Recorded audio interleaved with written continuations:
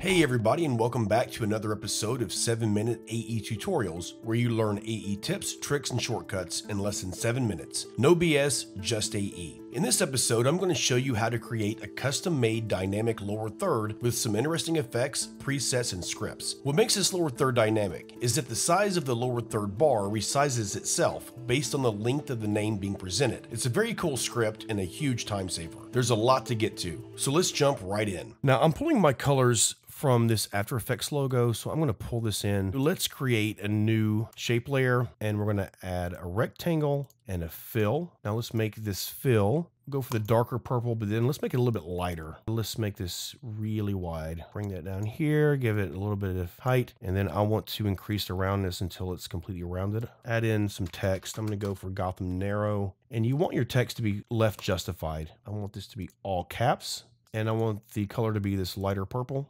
And let's uh, pull that down a little bit. Maybe let's make this background a little bit darker. And then let's just duplicate that text layer, pull it over, go Knight, ultra, position and scale our logo. Let's call this main bar. And then let's add another shape layer.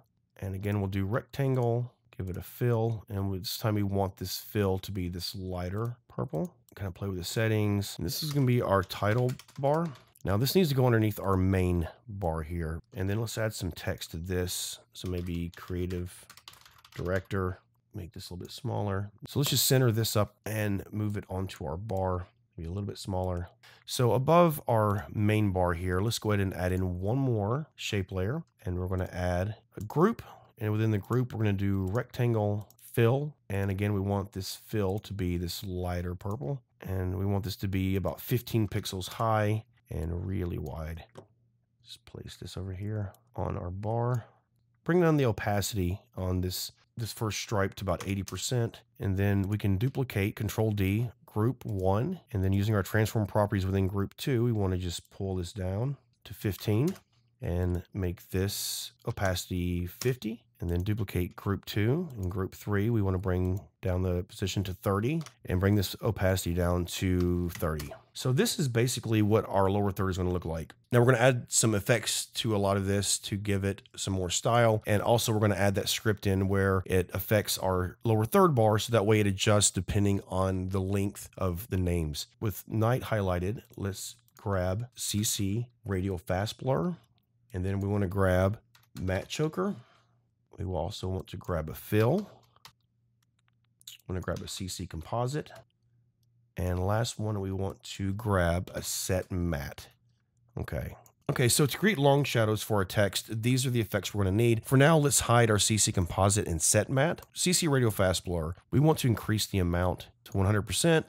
For the matte choker, we want to zero out our gray level softness 1 and 2. And uh, for our choke one, we want to pull it back to about 120. The way you affect how the shadow is going to fall is this center point here on the CC radial fast blur. As you can see, you can move it around. Uh, let's go to our fill and we're going to make this black and change the opacity to about 25%. Now let's uh, turn on our CC composite. And what this is going to do is it's going to give us back our text layer. So for CC composite, let's uncheck RGB only as you can see, our long shadow is falling off of our bar, which is why we have this set matte. So let's turn on the set matte and we want to take matte from layer main bar. And now see our long shadow will now stay on our bar here, no matter how you position the long shadows. So from top to bottom, let's highlight all of these effects, control C, and then go down to our Jeff layer and control V. For our title bar here, let's add in a null object parent our creative director layer to the title bar and then parent the title bar to this null. And let's just call this null title controller.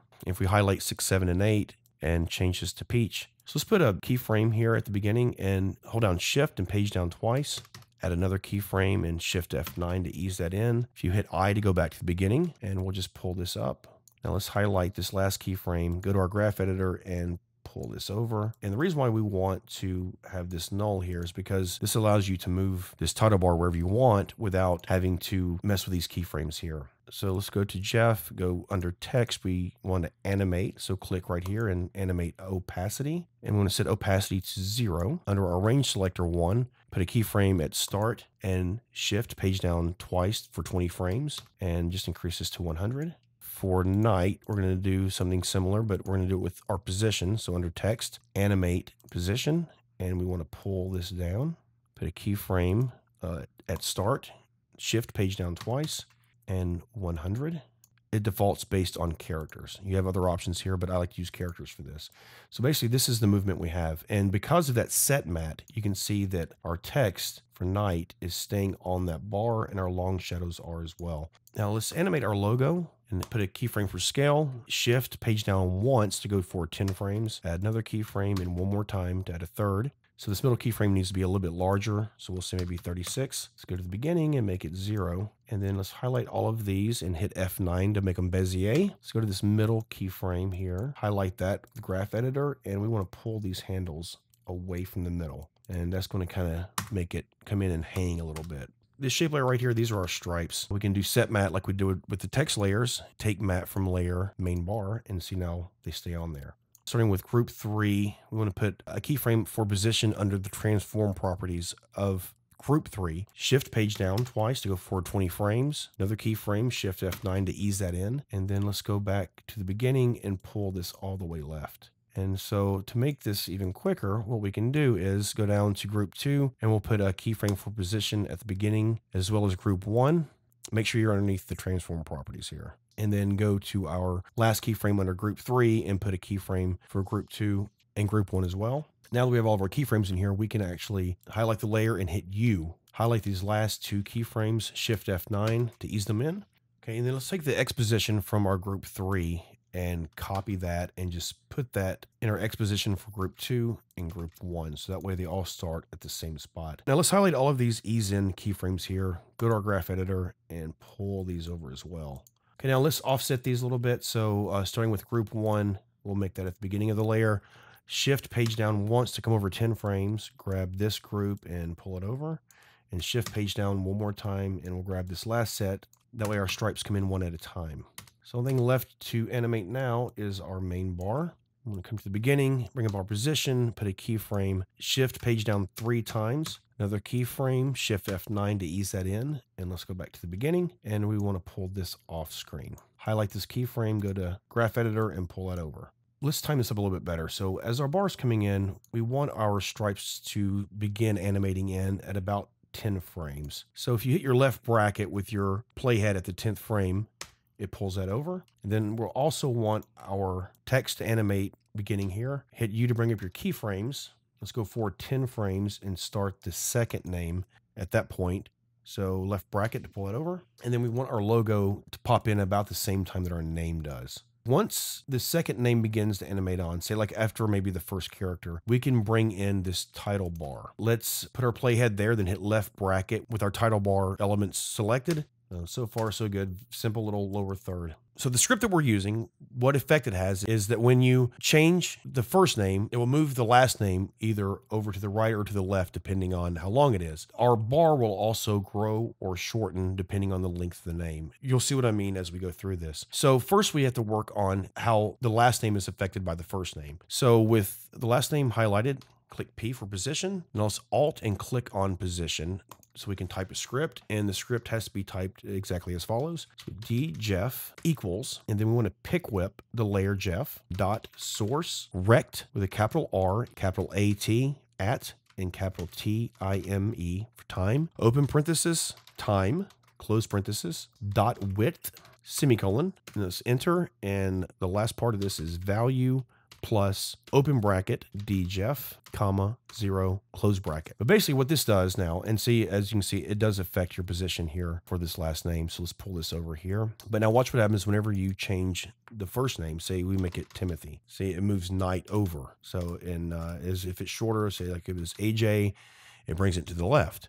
So now we want our bar to do the same thing depending on the length of these names. So let's highlight this script, Control C to copy, and let's come down to our main bar. And with position pulled up, Alt click on position and Control V.